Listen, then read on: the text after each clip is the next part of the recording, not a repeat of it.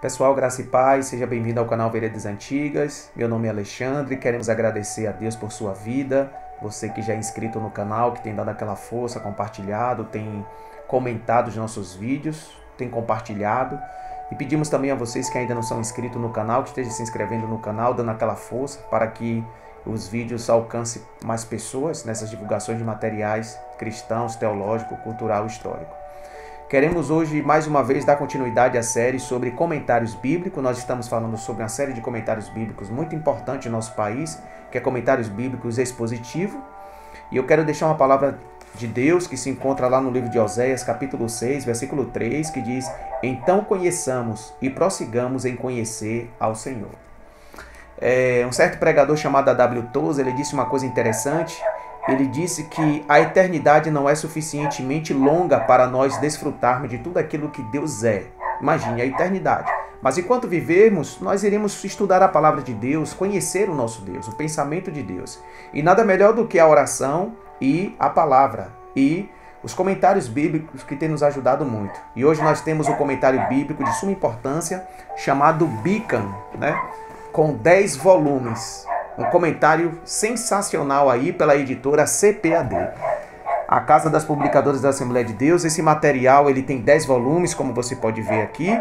10 volumes de Gênesis Apocalipse. Esse material ele consta com mais de 40 autores. Não é apenas um autor, é diversos autores. Então não segue bem uma linha é, de doutrina de uma determinada igreja, mas é interdenominacional, é um material focado nas escrituras.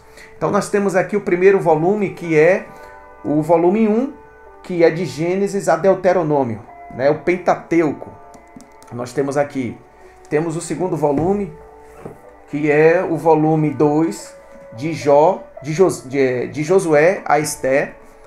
Temos o volume 3, que é o volume de Jó a Cantares de Salomão. Você pode observar que ele é um material muito bem trabalhado, capa dura.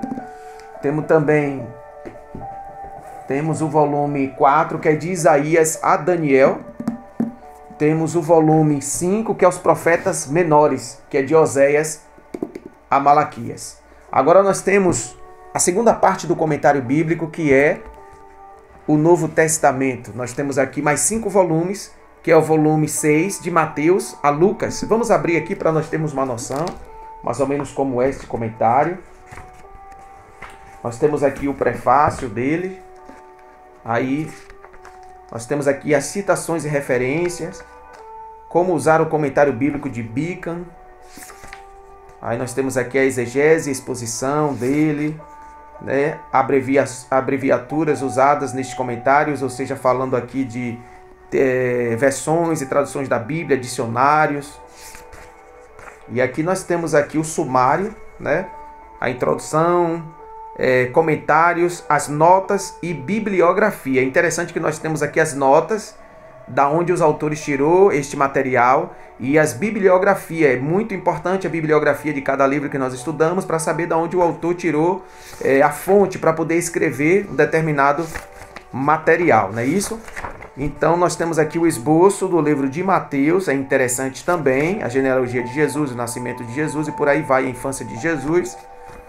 E nós temos aqui, né, a preparação do Messias, Mateus capítulo 1, do 4 ao 25.